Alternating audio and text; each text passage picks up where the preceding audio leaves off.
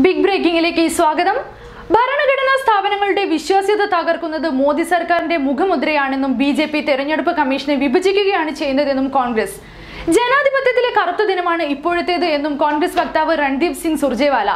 യോഗങ്ങളിൽ നിന്ന് വിട്ടുനിൽക്കാനുള്ള തെരഞ്ഞെടുപ്പ് കമ്മീഷൻ അംഗം ലവാസയുടെ തീരുമാനത്തോട് പ്രതികരിക്കുകയായിരുന്നു സുർജേവാല. ബി ജെ നേതാക്കൾക്ക് ക്ലീൻ ചിറ്റ് നൽകിയതിനെതിരെ ലവാസയുടെ വിയോജിപ്പ് കമ്മീഷൻ പരിഗണിക്കണമെന്നും അദ്ദേഹം ആവശ്യപ്പെട്ടു. തന്റെ വിയോജനക്കുറിപ്പ് രേഖപ്പെടുത്താതെ തുടർന്നുള്ള യോഗങ്ങളിൽ പങ്കെടുക്കില്ലെന്ന നിലപാടിൽ ഉറച്ചു നിൽക്കുകയാണ് അശോക് ലവാസ. പ്രധാനമായും രണ്ട് പരാതികളിലാണ് അശോക് ലവാസ വിയോജിപ്പ് കാണിച്ചത്. ഒന്ന് ന്യൂനപക്ഷങ്ങൾക്ക് ഭൂരിപക്ഷമുള്ള മണ്ഡലമാണ് രാഹുൽ ഗാന്ധി മത്സരിക്കാൻ തിരഞ്ഞെടുത്തതെന്ന മോദിയുടെ പരാമർശത്തിലും പുലിവാമയ്ക്ക് തിരിച്ചടി നൽകിയവർക്ക് വോട്ട് നൽകണമെന്ന പ്രസ്താവനയിലുമാണ് ലവാസ വിയോജിപ്പ് കാണിച്ചത്. ജനാധിപത്യ സംവിധാനത്തിന്റെ മറ്റൊരു കറുത്ത ദിനം കൂടി എന്നുള്ളതായിരുന്നു രൺദീപ് സിംഗ് സുർജേവാലയുടെ പ്രതികരണം.